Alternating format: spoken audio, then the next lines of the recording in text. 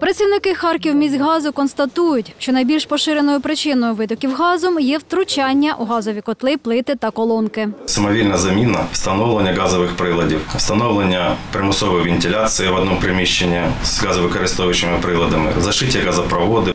Тим часом газовики застерігають, некваліфікована та самовільна заміна може привести до трагічних наслідків. Такі роботи повинні виконуватися тільки фахівцями, в яких є дозвіл. В разі виявлення витоку газу газопостачання припиняється. Відновлення газопостачання можливо лише за умови усунення порушень. Перед відновленням газопостачання необхідно перевірити стан внутрішньобудинкової системи та проводити контрольне пресування.